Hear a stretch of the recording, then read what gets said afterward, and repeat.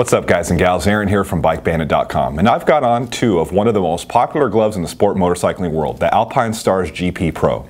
The difference? One of them I grabbed from here at BikeBandit and the other I ordered off AliExpress for 60 bucks.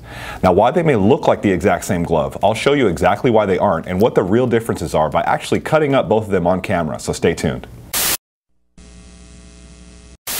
Welcome to another episode of Thank you. Where we expose who's real and who's fake. On today's episode, we'll show you who's the real Alpinestars GP Pro and who's just fronting. So get your gloves on, cause it's gonna be a fight.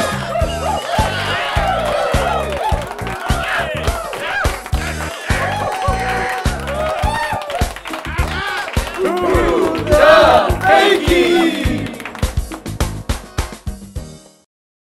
The Alpinestars GP Pro is one of the hottest gloves in sport riding, and with good reason. With full grain cowhide and goatskin construction, a kangaroo palm, and hard armor and sliders throughout, this race gauntlet sees action in both MotoGP and World Superbike and gives you the top of the line protection you need when you're riding on the street or track. But when you have a product this popular, you're bound to have people trying to knock it off too. So when we heard about some GP Pros for sale online for only 60 bucks, it caught our interest, especially because we heard so many people talking about how they could be the real thing or close to it, such as factory seconds, genuine gloves that failed quality control, or simply stolen merchandise. So we figured the only way we could know for sure was by ordering a pair and doing a side-by-side comparison with a genuine pair from our inventory so you could see what you're really getting. But hey, anyone can do a simple side-by-side comparison, so we're not going to stop there. In our quest to give you as much information as possible about the gear we sell, we're going to actually deconstruct both pairs of gloves to show you what you're really getting, both inside and out. That's right, we're going to chop up a $250 set of gloves on camera because we want you to see what you're actually paying for when you buy them. So with that said, let's jump right into it.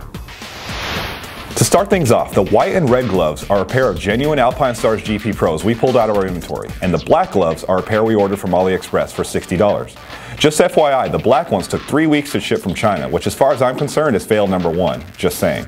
But now, let's go ahead and compare them. When the gloves arrived, the black ones, the $60 pair, actually arrived in slightly nicer packaging, which was odd. The hang tags on each pair were identical in appearance, but the genuine one was in much better condition as you can see here. Now, moving over to the gloves. One very important thing that may not come through on camera but is apparent in person is that the black gloves are clearly not made of leather, but instead some kind of imitation leather. If you only had the black pair in front of you, you might be fooled. But when comparing them side by side to the genuine glove, the difference in materials is clear. These feel less substantial and are a little softer and stretchier than the white pair. In addition, they don't even smell like leather, while the white ones smell strongly of natural hides. Uh-uh, obviously the real glove.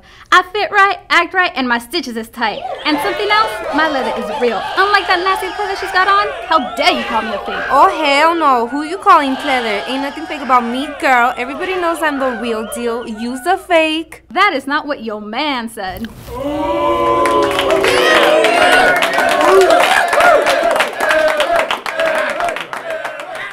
Now let's look at the stitching. Look at the palm of each glove side by side. When you look at the stitching in the fingers of each glove, the difference between these gloves becomes very obvious.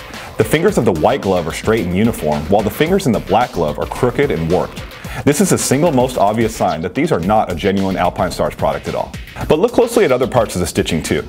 You can see that the stitches on the white glove overall are tighter and more perfectly aligned, while the stitches on the black glove look larger, more hastily done, and just aren't even straight.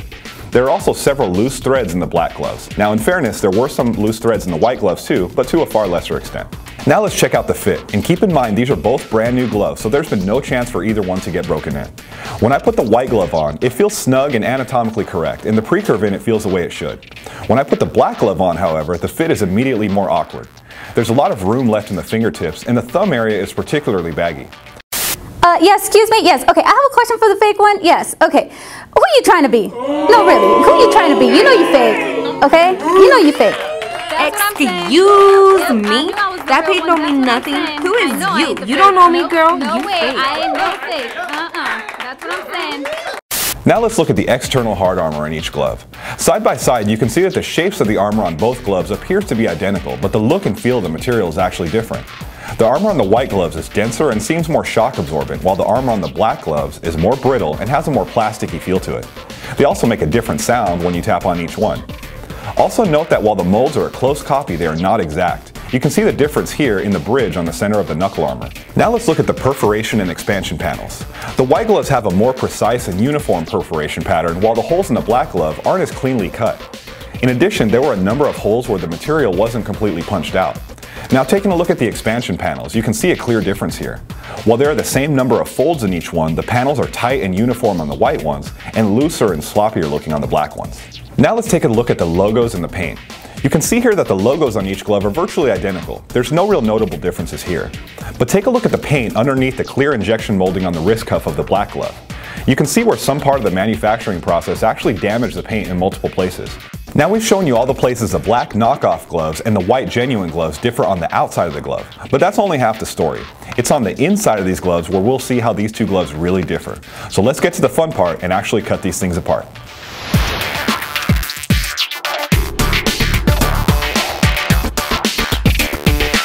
The foam located in these impact areas, which is used to protect your hand if you crash, is completely different in each of the glove. On the knockoff, it looks like the kind of cheap foam you would find inside a packaging or shipping container, whereas the foam, the EPS foam on the Alpinestars gloves, is a much denser and could definitely take a lot more of an impact. Okay, what we're looking at here is the palm of each glove. Now again, the palm of the knockoff glove is clearly not leather, but instead some kind of imitation leather, and you can really feel that when you have them apart. This is actual kangaroo hide on the Alpinestars glove.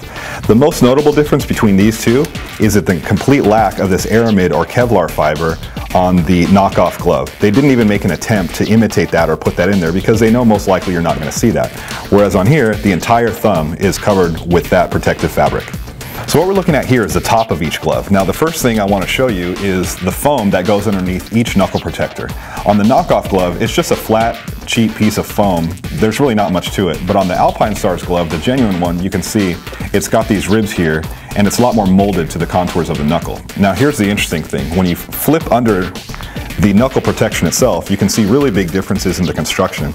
On the knockoff glove, it's just a really simple mold. There's not really much to it. But on the Alpinestars glove, you can see there's these ribs to provide additional impact absorption. You would never see that unless you had completely taken these gloves apart like we did.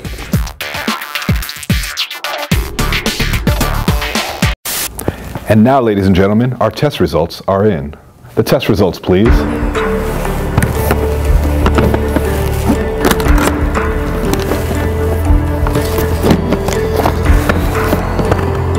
Tests reveal, with 99.9% accuracy, the black glove is definitely not the real Alpinestars glove. Oh, whatever, Aaron. Your test is wrong. Y'all stupid. Y'all ain't seen the last of me. I may be fake, but I look good. Okay, honey? Whatever, girl. Bye. Bye. Move on with your life. No way. Uh-uh. No. I told y'all I was real. No way. I can even think I was a fake. Uh-uh. No. Bye, Felicia.